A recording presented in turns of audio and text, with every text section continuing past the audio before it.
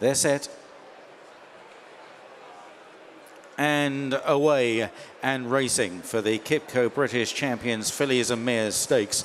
Doha on the wide outside. Uh, going forward is Wingspan. Also going forward, Village Voice in an all blue jacket. And Tiffany is well up there as well. And Samiha is next to the rail as they cover the first furlong. Just in behind the leaders, Guantanamera. And then very wide, Queen of the Pride in the claret jacket, just behind Doha in the silver silks. Towards the outsides too is Content in the centre, Guantanamera. Time Lock is towards the back in the green cap. War Chimes, the back marker, Grateful is held up. Kalpana, the favourite, in the white sleeves, pink cap line, probably about sixth, maybe fifth at the moment as they run down towards Swinley Bottom. And they're taken along by Wingspan out in front by a bit more than a length to Tiffany in second and Samiha in third. Then Kalpana, a little wider, Village Voice and Thunder Roll. Very wide is Doha. They are tracked through them by Sea Theme and Guantanamera. Grateful's on the inside in a dark blue jacket, from, followed by Time Lock, Queen of the Pride, towards the rear War Chimes and Content. Racing inside the seven and on towards the six and up the hill. And it's Wingspan that continues to show out in front by a length to Tiffany in second place. Close up Samiha on the inside, then in third the favourite Kalpana in fourth in that pink cap. Tracked by Village Voice and then Doha. On the outside, Content is getting closer now from Guantanamera.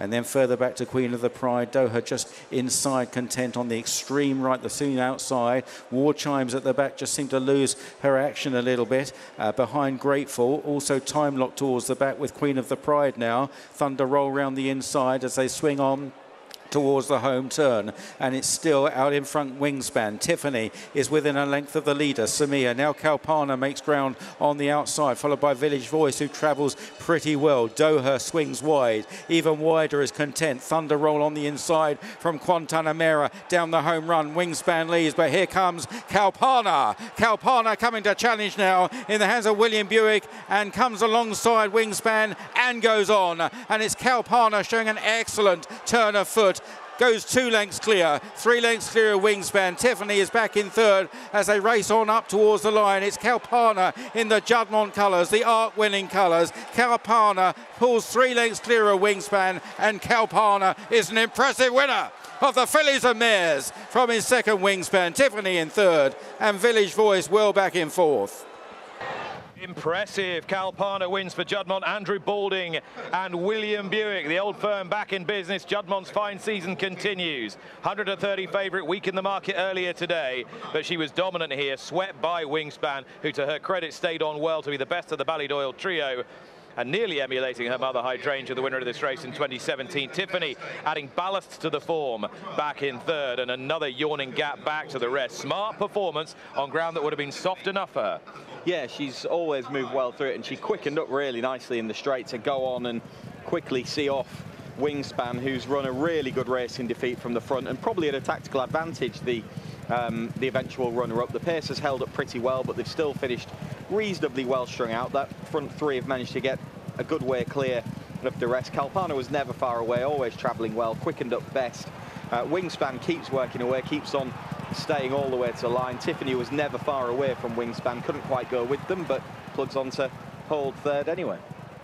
First win in this race, in this format for Andrew Balding. William Buick, who cut his teeth with the Kingsclere trainer and his father Ian, before moving on to, to pastures new, John Gosden, then Godolphin. This will give him rich satisfaction and great pleasure, I'm sure. Yeah, it will, and it was a, a ride that obviously Oisin Murphy was claimed for uh, Qatar Racing and Queen of the Pride with his retainer, so that the ride's available and you're not going to leave William Buick standing in the way in him, are you? And um, as you say, they've, they've, got that old relationship, and he was always in the right spot, but he was on a, a classy filly. She's clearly very, very smart. A Group 1 success for the stallion as well. Study of man, in whom Kirsten Rausing has the utmost faith, and he's had a, a terrific season at stud. And this just caps it really nicely. Indeed, the front two here, and indeed the third, they're all fillies that could go on and do better still. It's a, it's a, a, a nice race for the future as yeah. well as today. Well, Kalpana keeps on producing career best after career best, so you don't quite know where her ceiling is at the minute. Wingspan's got a fabulous pedigree, and again, he's very much going the right way. They're um, both uh, three-year-olds, and Tiffany probably ran right up to her best last time out and has run another Kalpana, such an impressive winner of the Fillies and Mares. A lovely spare ride for the outgoing champion jockey. Will wonderful performance. Yeah, great performance, and uh, yeah, like you said, lovely, lovely ride to pick up, and uh, you know, Andrew had a lot of faith in the and, and was very uh, sort of um, just reiterated how um, uncomplicated she is as, as, as a ride, and um, you know, she really is. You, you could sort of um, put her in anywhere anywhere you, you want in the race. The only question mark was the ground. It was the first time she'd raced on ground as soft as this, but um, she handled it well, and you know, I, was I was quite impressed with her. She's a she's a filly who's, who who is probably only going to improve into next year as well. Interesting, interesting. Yeah. I mean, how, how early did you know that she was handling conditions?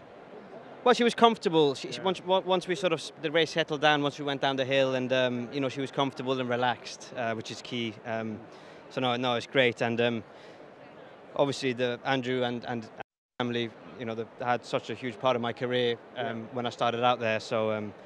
You know, I, I, believe this is our first Group One winner together. So um, oh, fantastic! So no, ex, ex, extra special. Oh, so um, day like today. Yeah, no, Great. look, it's uh, yeah. they they they were, you know, they were incredibly influential throughout my career. So huge thanks. Nice, nice to team up again, like old times. Absolutely. No, it's great. And the year for you, William, fantastic. All in all, I know you've not retained the title, but who cares about that now? The new champion jockey's coming out yeah, in a minute, yeah. I guess. So yeah, no, absolutely fantastic. You know, big congratulations to Oisin. He was, he was, uh, he, he set his stool out early, and um, you know he was the winner from some way out. So let's congratulate him and celebrate him. Well. Thank you. Thanks Thank you. Earlier today, Kalpana was a fabulous winner of the British Champions Fillies and Mare Stakes. Andrew Balding is her trainer. That was a performance out of the top draw, wasn't it? Yeah, very much so. Lydia, she's an extraordinary filly. She's just done nothing but improve. I mean, I, I, don't think she'd done this time last year. Hadn't done. She was so backward. She hadn't done any fast work, and um, you know, she's just started in January at Wolverhampton, and just each time she stepped up and improved. So, uh, you know, it's an exciting filly. And does she stay in training? She does, yeah. So, which is great. Yeah, and uh, I no reason she couldn't be even better next year. Yeah, you must have top targets on your mind against the boys as well as just against the girls. Yeah, very much so. I, I, I think she, she could mix it with, with, with the best of them now. And now you know she's versatile in terms of trip, she's versatile in terms of ground? Yeah, yeah. She probably wouldn't want it rattling fast, but uh, look, we'll pick our fights next year and uh, yeah, all being well, she should be set for a good one. And for the team, what, what's the meaning of that success on a day like this? Oh, brilliant! You, you know, we've, we've had we've had some good winners this year, but no Group Ones in England. So to get one in England sort of caps a good season, really. Very satisfying. Congratulations! I look forward to what you do with her next year. Thanks, Lydia.